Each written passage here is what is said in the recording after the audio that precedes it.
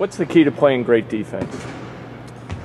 Uh, it really it really starts with uh, I think it starts with the fundamental values that they teach us of defense. Uh, you know, if you stay down, obviously if you're as slow as I am, you're going to struggle guarding certain people. Uh, but maybe that means you take a step back and try to use your length. Uh, there's there's little things that you can do, um, but also it, it really is in, in, a team setting. It's about covering for each other, and uh, we had a guy last year, uh, Willie Veasley, did it better than anybody else.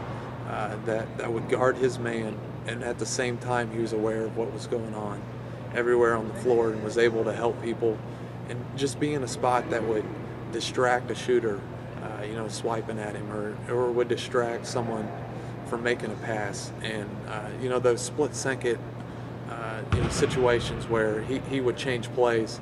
Uh, that that's the key. I mean, if you have if you have guys that are aware of what's going on and are, are ready to help each other, uh, you know, you can have a great team defense. And I mean, you watch the Celtics play; they do a great job of that as well.